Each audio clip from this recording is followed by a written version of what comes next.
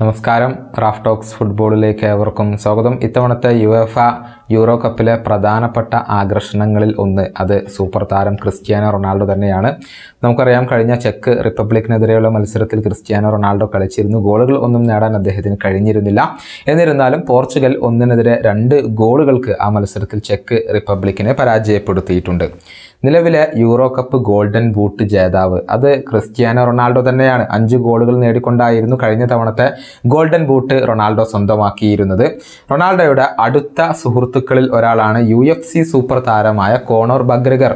കഴിഞ്ഞ ദിവസം തന്റെ സോഷ്യൽ മീഡിയയിലൂടെ ഒരു വെളിപ്പെടുത്തൽ ഇദ്ദേഹം നടത്തിയിട്ടുണ്ട്.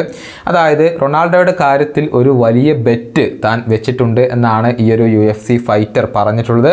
ക്രിസ്ത്യാനോ റൊണാൾഡോ ഇത്തവണത്തെ യൂറോ കപ്പിലെ ഗോൾഡൻ ബൂട്ട് നേടുമെന്നാണ് ഇദ്ദേഹത്തിന്റെ അവകാശവാദം. അതായത് ആ ഒരു ഗോൾഡൻ ബൂട്ട് നിലനിർത്തും എന്നാണ് ഇദ്ദേഹം പറഞ്ഞിട്ടുള്ളത്.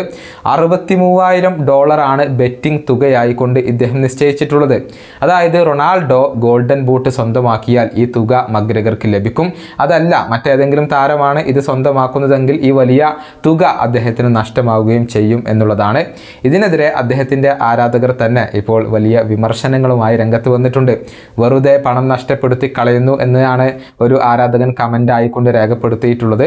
ക്രിസ്ത്യാനോ റൊണാൾഡോ ഇത്തവണത്തെ ഗോൾഡൻ ബൂട്ട് നേടില്ലെന്നും ആ പൈസ പോയെന്ന് കൂട്ടിക്കോളൂ എന്നുമാണ് മറ്റൊരു ആരാധകന്റെ കമന്റ് ആയിക്കൊണ്ട് ഉള്ളത്. ഏതായാലും തന്റെ സുഹൃത്തിന്റെ കളിമികവിൽ ഇപ്പോൾ മഗ്രഗർ വലിയ വിശ്വാസം അർപ്പിച്ചിരിക്കുകയാണ്. ഈയിടെ സൗദി അറേബ്യയിൽ നടന്ന ഒരു ബോക്സിംഗ് മത്സരം കാണാൻ വേണ്ടി ഈ രണ്ട് സൂപ്പർ താരങ്ങളും ഒരുമിച്ച് സന്നിഹിതരായിരുന്നു. ഈ വീഡിയോയുടെ അവസാനിപ്പിക്കുന്നു. വീണ്ടും കാണാം.